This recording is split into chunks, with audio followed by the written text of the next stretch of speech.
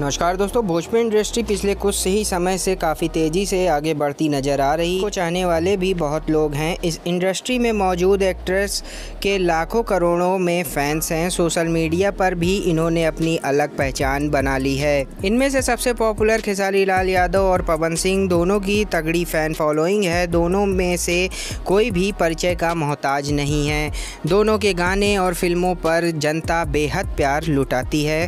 फ़िल्मों में भी इनका का काम शानदार है और बेहतरीन नज़र आता है। पवन सिंह और खेसारी लाल यादव आए दिन अपने म्यूज़िक वीडियो के कारण सुर्खियों में रहते हैं। भोजपुरी सिनेमा जगत में इन दोनों हस्तियों ने खूब नाम और पैसा कमाया है।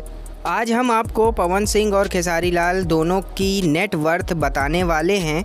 दोनों ही एक से बढ़कर एक रईस हैं। तो अगर बात करें पवन सिंह की तो पवन सिंह जो भोजपुरी इंडस्ट्री के सुपरस्टार कहे जाते हैं। ग्यारह साल की उम्र में इन्होंने सिंगिंग की दुनिया में कदम रखते हुए पहला गाना गाया था। पवन सिंह ने साल 1997 में अपनी पहली एल्बम बनाई थी, जिसका नाम था ओढ़निया वाली।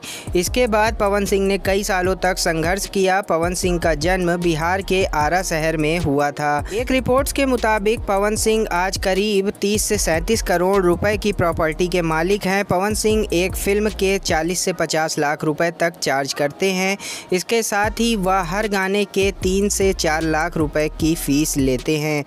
इसके अलावा पवन सिंह के पास मुंबई में लोखंडवाला में एक फोर बी के फ्लैट भी है।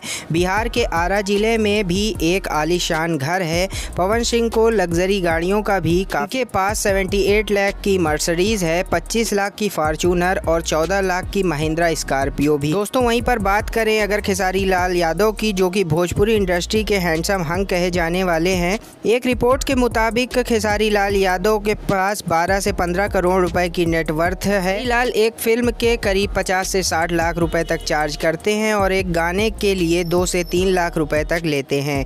खेसारी लाल यादव के पास पटना में एक आलीशान घर है। इसके अलावा मुंबई में भी इनका एक फ्लैट है जिसकी कीमत करोड़ों रुपए में है। को खेसारी लाल को भी महँगी गाड़ियों का खूब शौक है। रिपोर्ट्स के मुताबिक उनके पास 30 लाख की टोयोटा फार्चूनर है। इसके अलावा उनके पास बीएमडब्ल्यू और लैंड रोवर जैसी लग्जरी गाड़ियाँ मौजूद हैं। अपनी राय हमें कमेंट पर ज़रूर बताएँ और चैनल को सब्सक्राइब करके बेल आइकन ज़रूर दबा लें ताकि ऐसी ही इंटरेस्टिंग न्यूज़ आपको मिलती रहे।